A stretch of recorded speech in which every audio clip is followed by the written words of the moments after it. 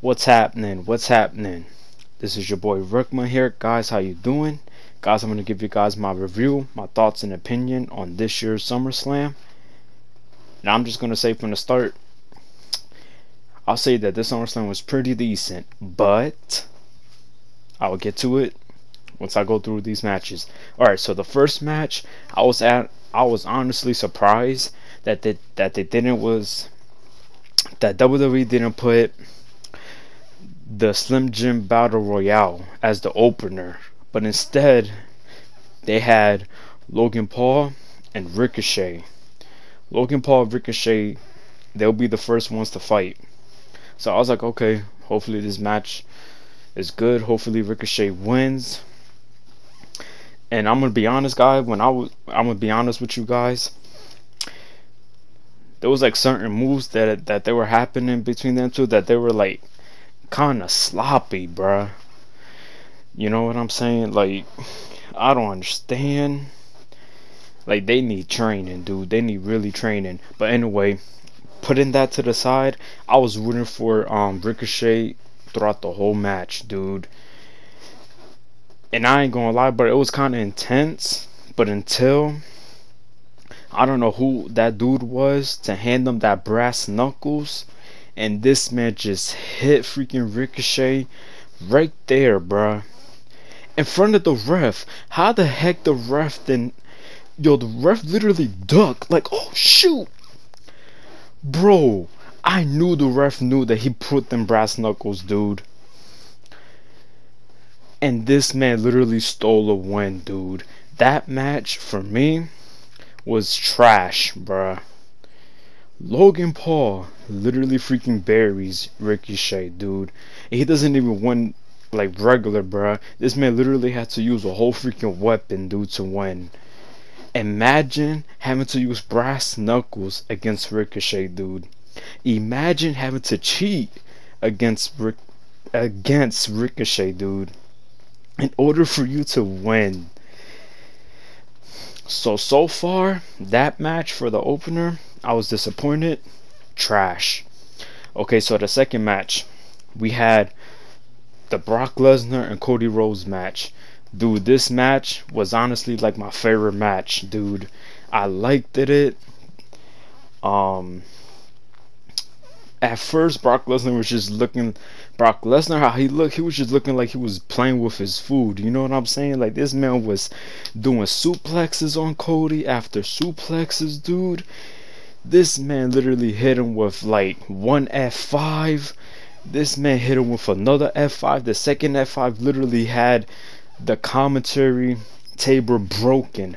But the thing that was so funny was it literally broke like a sec like five seconds late, bro. Like when he landed on top of that table, it just randomly collapsed to pieces. Like it didn't even like collapse when Cody Rhodes literally hit the the table it just waited for like a second and the table just like and you just hear freaking Brock Lesnar just yelling at him, Save yourself, Cody! Save yourself! So this man kept on pushing him out the ring, pushing him out the ring.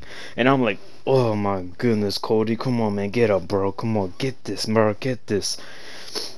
But at first, Cody was going into him, dude. He was hitting after disaster kicks after disaster kicks. But then that's, if y'all know how Brock Lesnar is, dude and then when Cody Rhodes had to use was hold on when Cody was about to do the Cross Rhodes, Brock Lesnar literally reversed it and made it into a freaking Kimura lock. I'm like, oh man, don't tell me, dude.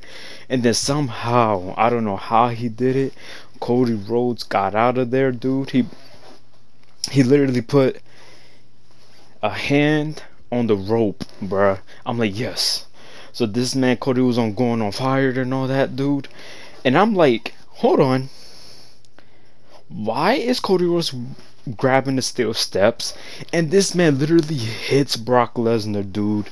I'm like, wait, so this match has a is this match a stipulation or this is a normal match because isn't Cody Rhodes going to get um disqualified? Bro, that's what I'm saying, dude. Was the referees doing paying attention? At their matches today because me I like Cody Rhodes. That was my favorite match. But yo, when I saw that, bro, I was like, how was that not a disqualification, dude? Like, what the freak?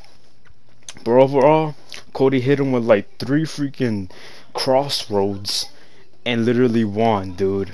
I was so freaking hype, even though that referee didn't caught that. That was the second time the referee missed. Okay.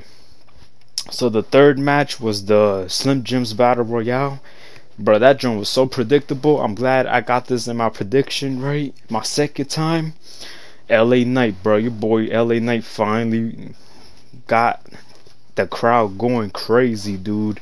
Like when the camera will like will beam towards like the the audience, bro. You see like mad people using um having LA Knight shirts, bro. Like that jump was packed of his people, bro.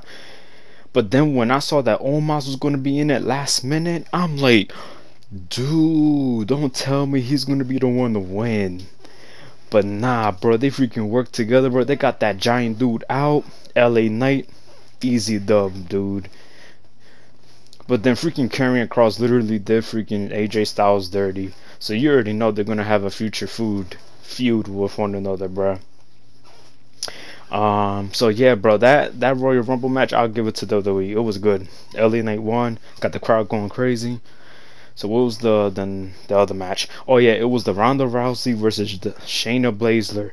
To be honest, this match eh, it was a sleeper, dude. I didn't hardly care for this match. I was, I can't believe, literally when Shayna Baszler literally freaking put her in that sleeping hole, she just passed out immediately. Like she was trying to fight for a little bit, and she was just like, "Nah, go ahead, just win me, please." Like, bruh, and then yo, compare the energy towards the Slim Jim Royal Rumble to that match, dude. The crowd was just like not into it, dude. Like you could tell nobody cared about that match, bruh.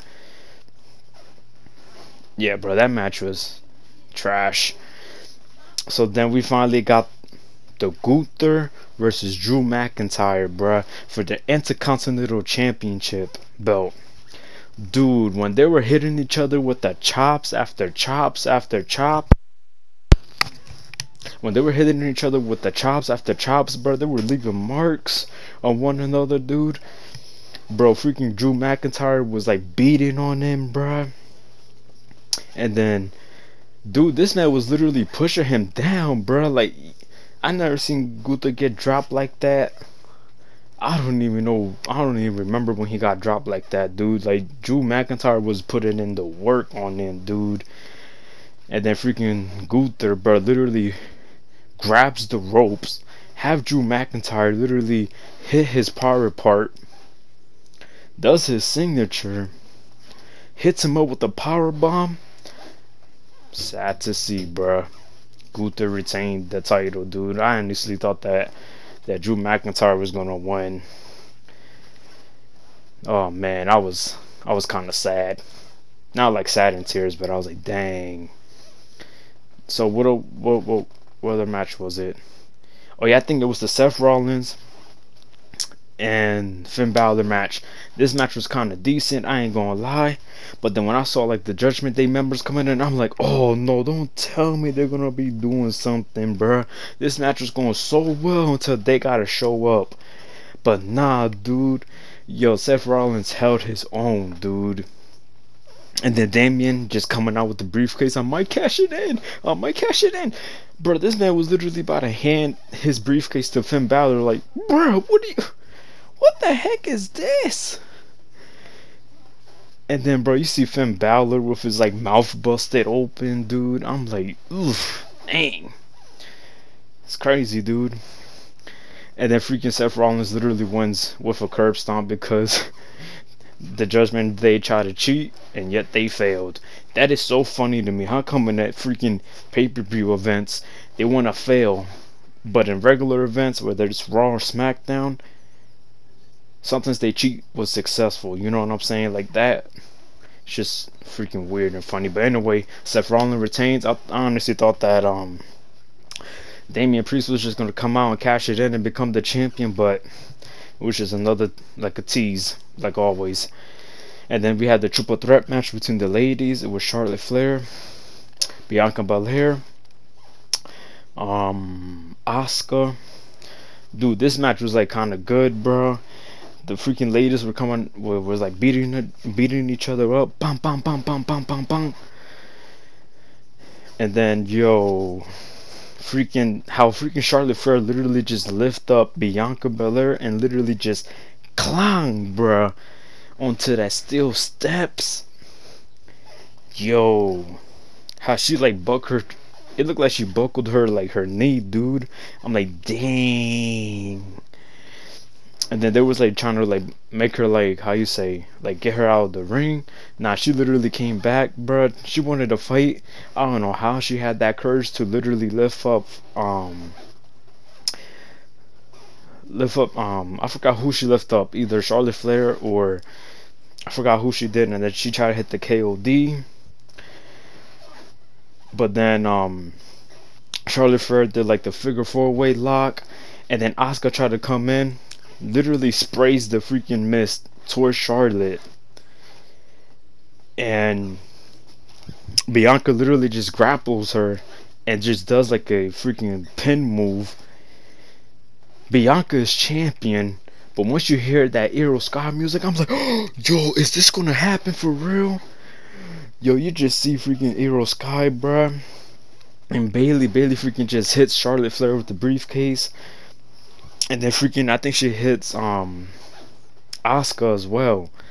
And I'm like, yo, this is happening, then she was like, I'm catching it in, I'm catching it in. I was like, oh, shoot. Dang, bro, when she did her move, bruh, I'm like, dang, what a successful cash in, dude. I'm like, dang, bro, why they couldn't do that with Damian Priest?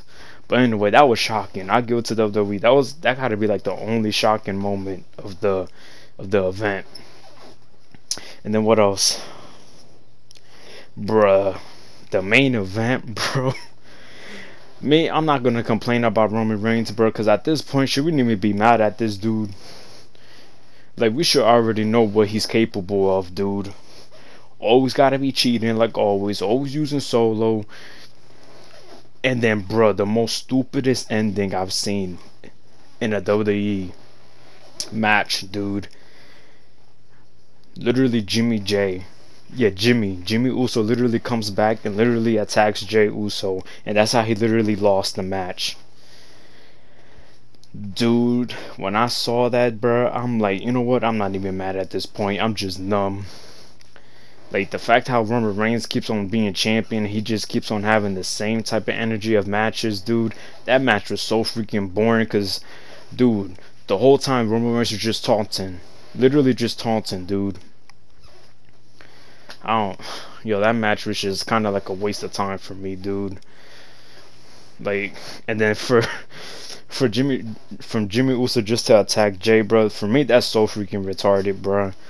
Like, didn't didn't we already had didn't WWE already did something with brother and brother with Kane and the Undertaker? Now they're gonna be doing the same thing with Jimmy and Jey, dude. That jump was so freaking retarded, dude yeah, bro. So overall, SummerSlam, it was pretty decent, but the but the opener was trash. The Shayna Baszler match was kind of garbage, and that main event was just stupid, like literally retarded, dude. I don't know who enjoyed that. That joint was so freaking stupid. Anyway, if I had to give this a rating, SummerSlam of this year, I'll give it like a C minus to a D plus.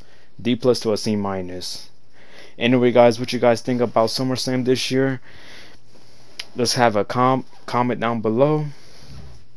What you thought of. Share with your friends and family. Um, subscribe if you're new. And yeah, guys, I'll see you guys in the next one. So, yep. I'll see you guys in the next one. Don't mind the noises in the background if you hear it. Um, yep. yeah, man. SummerSlam was just, it was alright. Anyway, guys, this is your boy Rickma. Rickma signing off. Peace. God bless.